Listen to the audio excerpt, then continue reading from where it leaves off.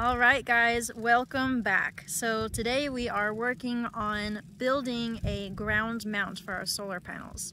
We have 28 of them going on there. You can see them back there, all stacked up on the pallet. Super excited for it. Yeah, so 28 will go up, maybe 30. Uh, we have another couple that are damaged, um, so we're trying to see. We'll decide later. But for now, we are building 28 panels. Uh, so four rows and seven columns. We are going to put um, five posts in the ground on each side, the front and the back. And uh, yeah, we'll see. This is our first time building something like this. So far, we had build that solar tracker which we have only five solar panels on it but we need way way way more energy than five solar panels so Right. We got our all the rest of our solar panels finally ready to do this we learn as we go uh, and uh, yeah Wish us luck. wish Let's us get luck. to it. yeah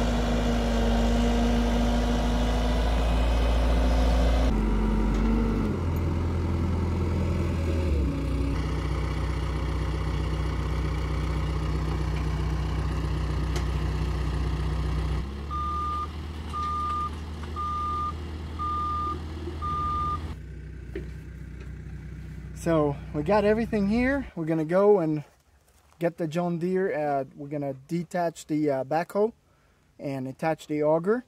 We're gonna use 12 inch auger for this one. All right, so one thing you guys, um, one thing to remember, anytime you uh, disconnect any type of attachments, hydraulic attachments, always make sure that you are that you don't have any pressure because if not you won't be able to detach it or attach it. You won't be able to disconnect or connect the uh, the uh, hoses the hydraulic hoses. So I cleared all of the pressure and then it makes it much much much easier to connect everything. So just keep that in mind. All right. It's good to go. All right, so we went ahead and started marking the the area where the posts are going to be for the ground mount just to get a better visual on everything and to make sure this is where we want to put it. Well, unfortunately, we don't have the perfect spot for it. It's like we know where the house is going to be, but we don't want to be too far away from the house.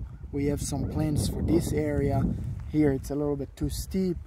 We're worried about uh, shadows that's going to cast on the solar panels, so we want it away from everything, including the house. Um, so really, for now, that's the best spot. It looks like uh, with not interrupting the other solar panels uh, that we have.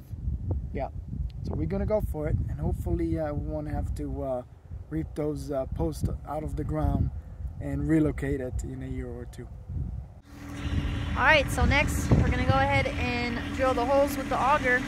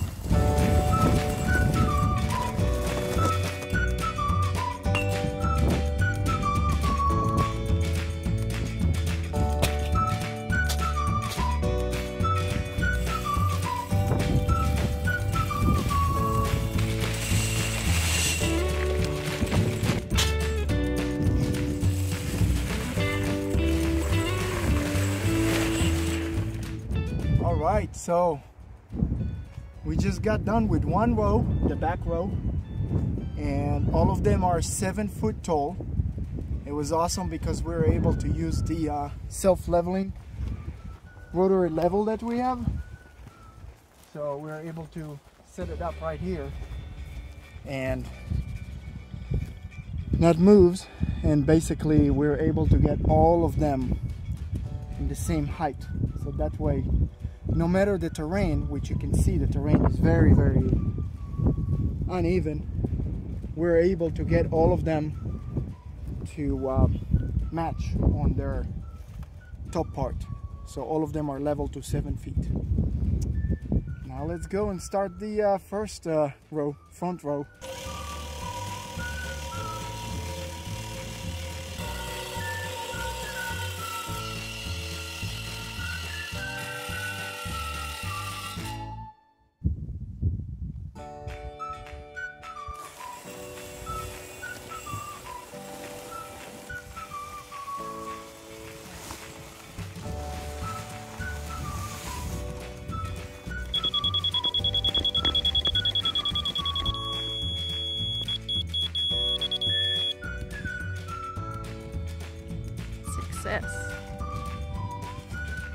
Alright guys, so today is a new day. Yesterday we checked the angle and we adjusted by lowering these five front posts a little bit more into the ground. So they're just at one foot above the ground now. And the ones in the back are seven feet above the ground, which gives us a 40 degree angle, which is what we wanted.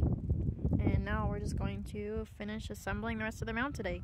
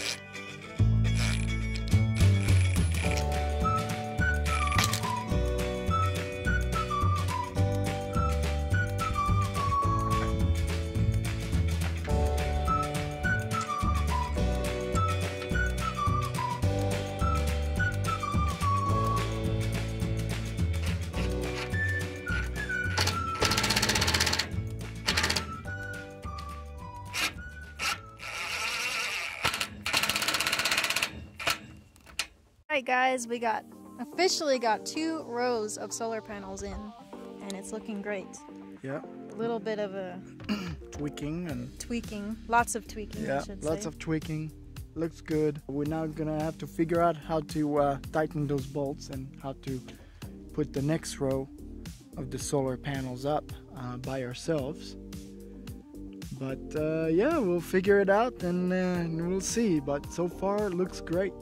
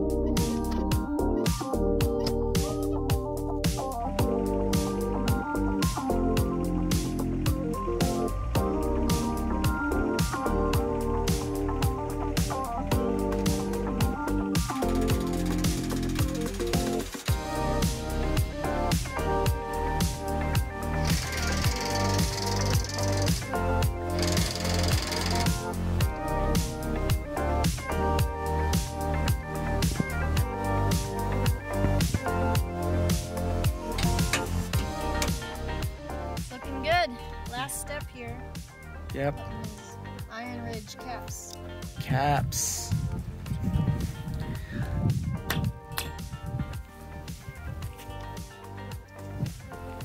Nice.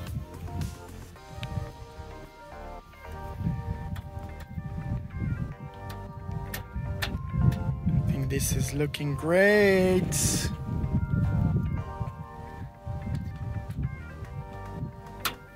That's massive.